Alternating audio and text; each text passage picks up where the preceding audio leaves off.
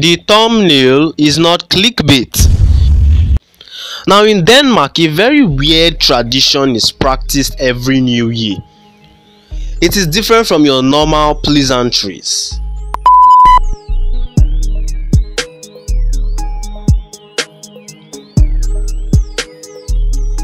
While it might be famous for the Greeks to smash plates during celebratory occasions, it is popular over in Denmark too. In fact, on New Year's Eve, the people of Denmark throw unused plates that have been saved up throughout the year at the front doors of family and friends for good luck.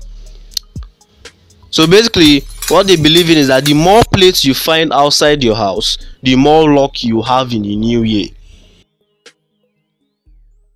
and I'm not quite sure I'll like this kind of celebration though.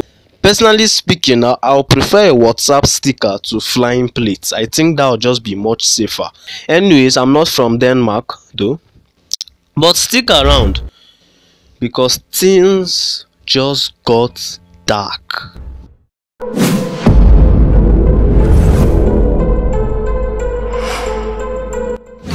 New Year's Eve's tradition takes the residents of Talca Chile to their local cemeteries for a sleepover. And you he heard that right. It is customary for residents of Tauka to go to their cemeteries for sleepover. And you might be wondering, what the why do they do this? Now it is in their belief that their dead loved ones come back to the graveyard to celebrate with them. So they host this party by making fires, bringing meals and decorating the graves. And when they decide to call it a night, then set up their beds and sleep. So basically they lay with the dead so as to celebrate New Year. And that is very creepy, okay? Now we have just talked about one. What about the other?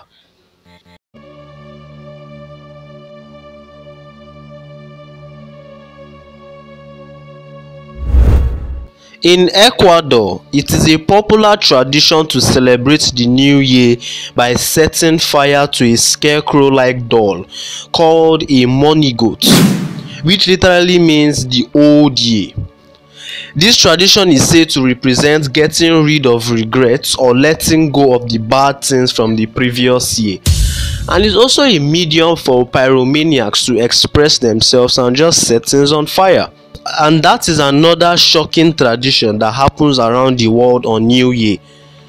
And i bet you didn't know that but enough of this scary shit. Stop the music stop the music. For some more fun facts dropping your ice cream on the ground has always been a very painful thing. Dropping your ice cream on the ground has always been a very very horrible scenario. But to others it is a tradition. But to me it is a very very devastating tragedy my ice cream fell alongside my heart, and I could only take two bites before it came crashing down. Oh, how unfair life is! My sweet little ice cream gone like the wind.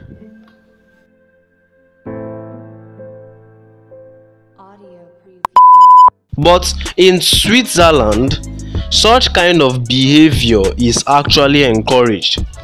In Switzerland, it's thought to be good luck to drop ice cream on the ground on New Year's Day. Any ice cream you walk, it does not matter the flavor as long as it's on the ground. Uh, and I don't think I'll like this tradition very well. You see this tradition and that um, throwing plates tradition. These two it really contrasts with me greatly. But i'm not from switzerland so in some other countries the color of your underwear can also represent good luck. It's also a tradition for new year. So if you're in a mood for some love and romance during this new year then wearing red underwear is a must. And yellow wearing yellow underwear helps to signify wealth and money. Um, wearing white is if you are hoping for peace and tranquility.